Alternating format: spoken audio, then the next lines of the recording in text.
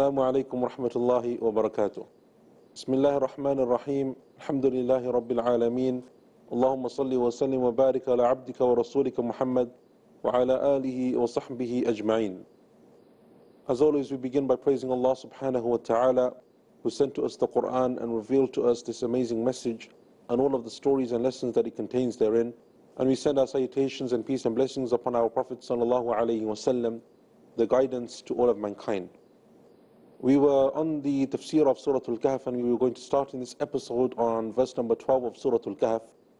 And we were speaking about the story of the people of the cave and how Allah Azza wa Jalla in the first four or five verses of this story, He gives a summary of the story of the people of the cave. And He has mentioned already a number of important components in the previous verses that we discussed, namely that Allah subhanahu wa ta'ala speaks about how they were an amazing sign of Allah Azza wa Jalla, the people of the cave, how these people of the cave had to go and seek refuge in a cave and they made a dua therein of seeking mercy from Allah subhanahu wa ta'ala and asking Allah for His guidance. And how Allah Azza wa then responded to that guidance by giving them a miracle and a sign that involved sleep and it would be a heavy cast sleep upon them. In verse number 12, Allah subhanahu wa ta'ala then continues with this summary and He says, أعوذ بالله من الشيطان الرجيم ثم بعثناهم لنعلم أي الحزبين أحصى لما لبثوا أمدا And then we would awaken them. Allah subhanahu wa ta'ala in the Quran uses the word ba'ath, which means to resurrect, even though they didn't die, but they were in a very long and deep sleep. And that is because, as the Prophet said, sallallahu alayhi wasallam, sleep is the brother of death. When you go to sleep, your soul travels and you have dreams and so on, it is similar to death. Allah Azza wa mentions in the Quran, Allahu yatawaffa al-anfusa hina mawtiha wallati lam tamut fi. Allah Azza wa is the one who takes away the souls at the time of death, and those that do not die, their souls are returned to them after their sleep. So Allah Azza wa mentions in the Quran that sleep and death are similar in some regards and they are closely related to one another. These people slept for many, many years, as we will come and find out later that it was, in fact, centuries. So Allah Azza wa Jal says in another important lesson that in order for this sign and this miracle to be completed, they had to awake. Because if they had just stayed asleep for 300 years and plus, many centuries, and then after that sleep, they simply died in that state of sleep, that miracle wouldn't be known to anyone. Or if they had awoken and then they had just died without anyone seeing or knowing or interacting with them, they, again, the miracle would be incomplete. So from the perfection or the completion of this miracle of Allah subhanahu wa ta'ala is that He allows people to realize that it is a miracle, to see that it is a sign from Allah subhanahu wa ta'ala. And we use the word miracle not in the sense of mu'jiza, which is a miracle that is given to the prophets and messengers of Allah, but rather it is a karama. It is a type of miracle that is given to those people who are lesser in, in status than the prophets and messengers of Allah subhanahu wa ta'ala. And a karama is something which can be given to anybody other than the prophets of Allah from the believers. So the prophets of Allah Azza wa Jal have mu'jizat. And those people who are the awliya of Allah, they have karamat. These people of the cave were given this type of miracle, this karama. So Allah Azza wa Jal wanted it to be complete by them being discovered by people knowing their story and the reality of what happened. So Allah Azza wa Jal says, ثُمَّ بَعَثْنَاهُمْ And then we cause them to awake. لِنَعْلَمَ أَيُّ الْحِزْبَيْنِ أَحْصَى لِمَا لَبِثُوا أَمَدًا So that the two groups from amongst them would be able to know how long they truly slept for. As we will see later on in the story, as Allah will mention again, when these people awake, the people of the cave, they dispute amongst themselves as to how long they slept. And from the amazing aspects of this miracle is that this miracle was such that even though they slept for centuries, they didn't feel as if they had slept for more than a day or so. And because they differed as to whether it was a part of a day or a full day or what it was, Allah says we showed them because the miracle is not only for other people who will discover them, but for them as well. Why for them? The miracle is for them to show them how Allah protects them, how Allah gave them His mercy how Allah made them steadfast, how Allah Azza wa Jal helped them because they are from His awliya. And it is a miracle for others, a lesson for them because they will see the power and the majesty of Allah subhanahu wa ta'ala. It is a sign that should bring them closer to Allah Azza wa Jal. ثم بعثناهم لنعلم أي الحزبين أحصى Which one of those two groups had a better calculation, a better awareness, لما لبثوا أمدا as to the length of time that they passed within that cave. Allah subhanahu wa ta'ala then says, نحن نقص عليك نبأهم بالحق إنهم فتية آمنوا بربهم وزدناهم هدى Indeed, we, meaning Allah, we relay their story to you in truth. Allah says that this story is not a fable that is made up. It is not just something that you tell to your children to get them to sleep. It is not just something which Allah Azza wa has mentioned to fill up the pages and the words of the Quran. نَحْنُ نَقُصُّ عَلَيْكَ نَبَأَهُمْ بِالْحَقِّ This is a true story that we relate to you, O Muhammad sallallahu alayhi wasallam, to your ummah and to your followers after you. And this is from the main aspects of the stories of the Quran. Allah is mentioning the unique attributes of the stories of the Quran. Number one is that they are always truthful.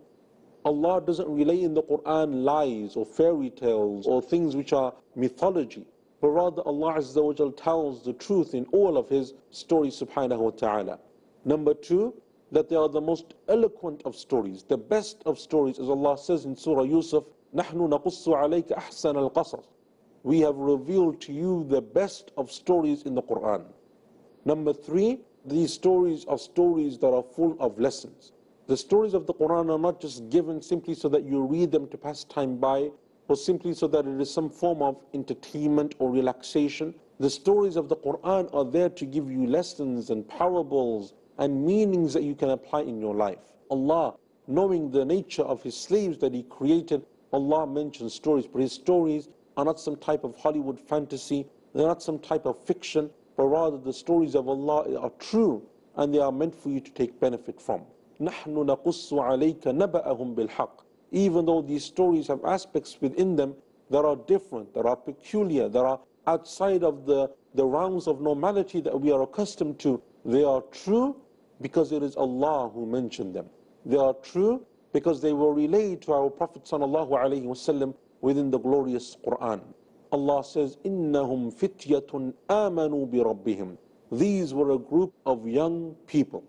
Youngsters again, Allah mentions the words youngsters, fitya. They were young people who from all of their community, everyone within that society, they stood up and they gave up their sins and they sacrificed for the sake of Allah and they worshipped Allah alone. Innahum fitya, they were a group of young men, amanu bi rabbihim. They believed in Allah.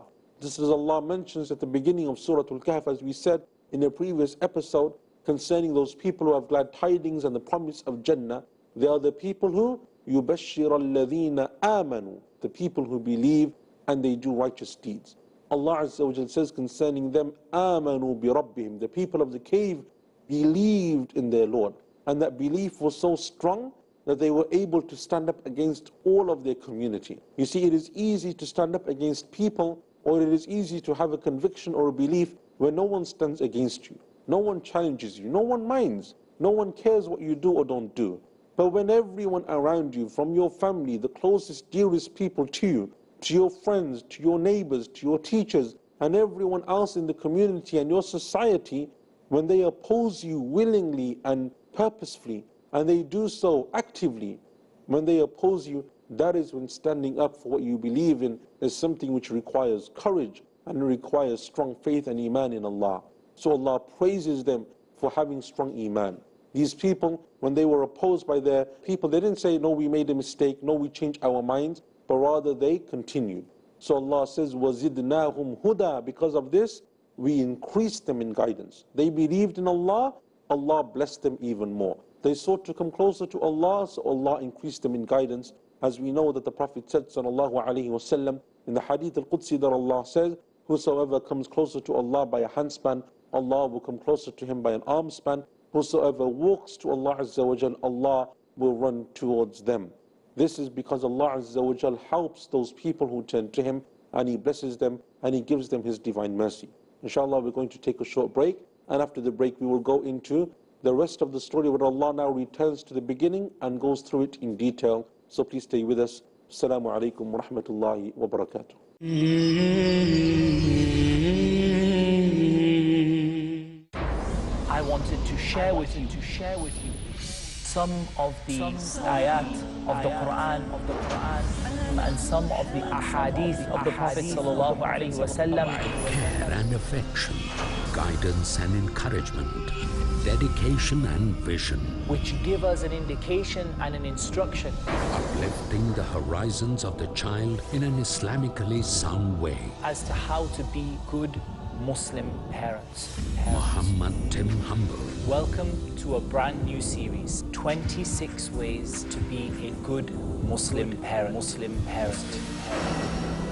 Imbibe the various qualities of ideal parents essential for their children's upbringing and betterment from 26 Ways to Be a Good Muslim Parent every Friday at 6 p.m. and repeat telecast at 5.30 a.m. Saudi Arabia on Peace TV. Muhammad, peace Pearls of Prophet Muhammad, peace be upon him. Abu Huraira, may Allah be pleased with him, narrated that the Messenger of Allah, may peace be upon him, said, One who does not thank the people does not thank Allah. Sunan at-Tirmizi, Volume 4, Book of Righteousness, Hadith number 1954. Peace TV presents over 100 million viewers at one of the largest peace conferences in the world, addressing a sea of spellbound spectators. Over 30 world-renowned orators on Islam with credentials impeccable. The truth of Islam. Deen is your way of life. It is our duty, our obligation. By following the Quran and Sunnah, we will give the message to one and all. To one and all. With articulation exquisite. Read the book of Allah. Islam is the easy way. It's the simple way. Remind each other. The Muslim is not a source of harm for other people. Collaborate with the people for good. This is the call of Islam. With the mission of spreading the truth of Islam. Do what you can to spread the word of Islam. Wherever we are. Live like Muslims. Use your power. Allah is saying, why do you need anything else? This Quran is self-sufficient. The only book on the face of the globe, the Quran. How a human being should lead his life is given in this instruction manual, the glorious Quran. The glorious Quran. For peace to prevail on earth in peacemakers. Next on Peace TV.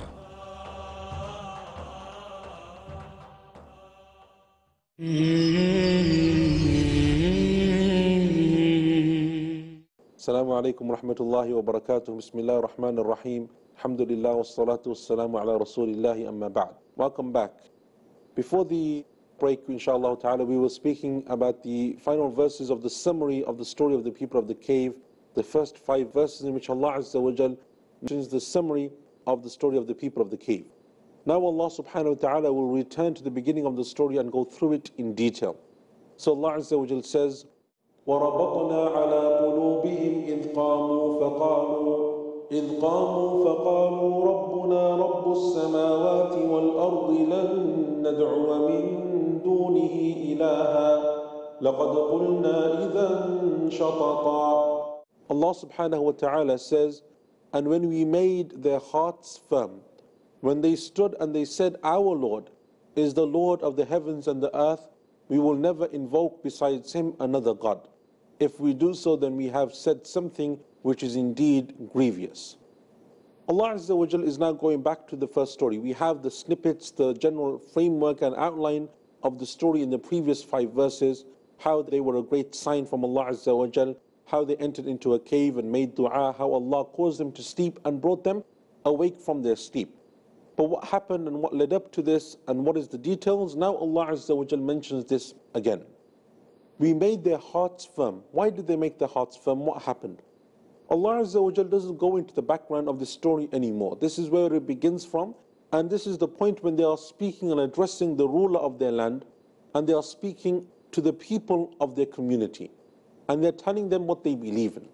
Ibn Kathir, rahimahullah ta'ala, the famous scholar of tafsir, he mentions in his tafsir the background story, which he takes from Israeliyat, Israelite traditions. Now, in our religion, you will find in books of tafsir and in other books, sometimes the scholars quote from Israelite traditions. What are Israelite traditions? They are traditions and narrations that are taken from previous scriptures, from the Torah and the Gospel and so on and so forth. They are taken from the Bible and from other Judeo Christian works. They are Judeo Christian narrations known as in Arabic Israeliyat, in English, Israelite traditions. The Prophet told us, sallallahu alayhi wasallam, "Hadithu an bani Israila wala haraj." Narrate from the people of Israel, the children of Israel, and there is no harm in doing so. The scholars say that this hadith means that if we come across their narrations, those narrations that oppose our religion, we must reject because they oppose what is in the Quran or what the Prophet ﷺ said explicitly. Those things that we find in their narrations, Judeo Christian narrations, that conform, they agree with our religion, we must accept. Not because they are their narrations, but because our Quran and our Prophet ﷺ mentioned them to be so as well. And as for everything else that is neither mentioned, neither affirmed nor denied, they're not confirmed by the Quran and Sunnah, nor are they rejected by the Quran and Sunnah. It is allowed for you to narrate them only, meaning that you narrate them, but you don't necessarily believe in them.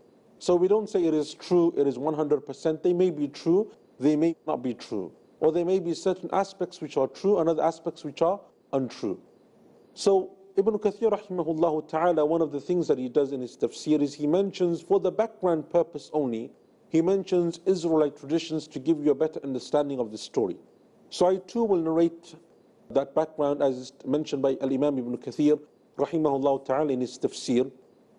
But again with this caveat that it is not something that is authentically narrated to us in our tradition, in our sunnah or in the Quran. So therefore there are aspects which may be correct, aspects which may be incorrect, and Allah Azza wa Jal knows best. He says that these were a group of people. Number one, they didn't know one another. So these group of young men who would become the companions of the cave were not people who knew one another initially. They lived in the same community, in the same town, but they were not brothers, they were not friends, they were not relatives or cousins or neighbors. They just happened to live in the same place. And that place had a king who was a tyrant, an evil ruler. And he was a man who was a tyrant and he made people worship gods besides Allah subhanahu wa ta'ala. He also mentions that these people were from a kind of a Roman background, a Byzantine or Roman kind of background, and that they were people who came from relatively wealthy or affluent families. They were comfortable in terms of their living. The people of that town used to have a festival, an Eid, a festival day, a celebration when they would come out and they would worship their gods and so on. These group of young men, they didn't know one another, but they felt uncomfortable with the idea of worshipping these gods besides Allah. Each one of them individually felt this way. Just as our Prophet ﷺ, and there are many lessons and many parallels that you can draw from the stories of Surah Al-Kahf with the life of our own Prophet ﷺ, and perhaps that is the reason, and Allah knows best, that it was also revealed early on because of the parallels between the two things.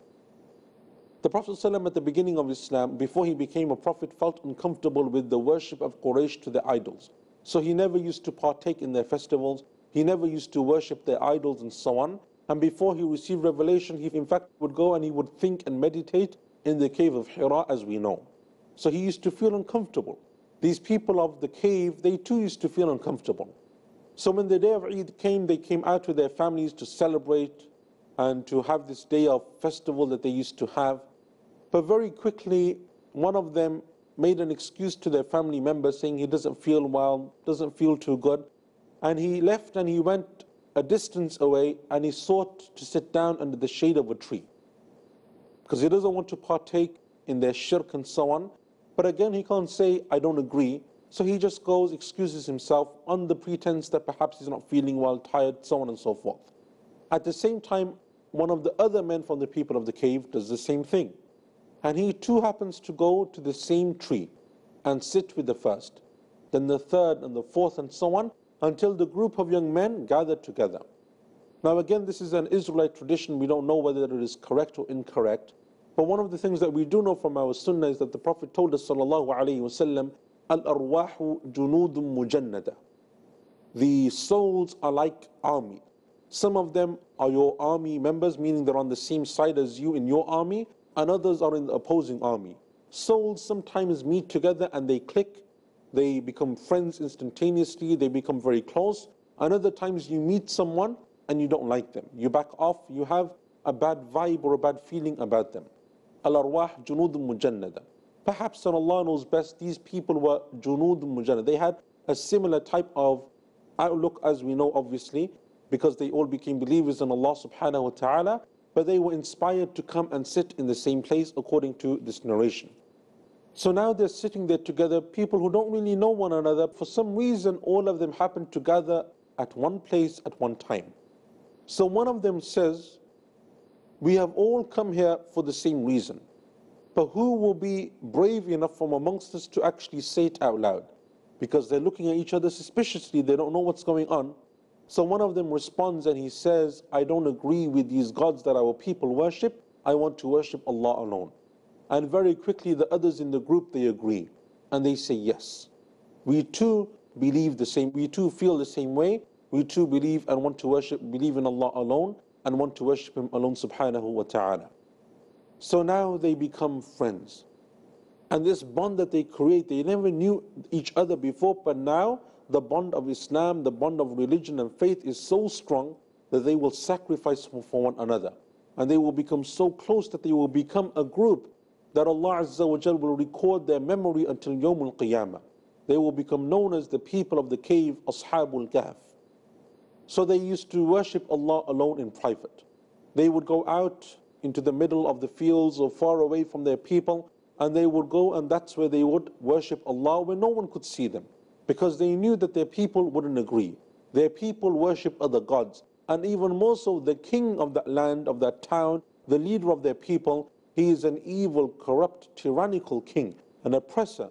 And if he finds someone who disagrees with him, he will most likely kill them or harm them or torture them or imprison them or whatever he will do, but he will be strict with them.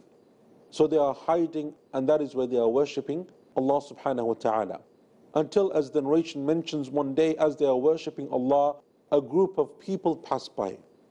And they happen to see them and they see that they're doing something different. So they come to them and said, What are you doing? Who are you worshipping? Because now they have found out that they are doing something different. They say to them, We will go to the king and we will complain. We will tell him what you are doing. So they go and they tell the king.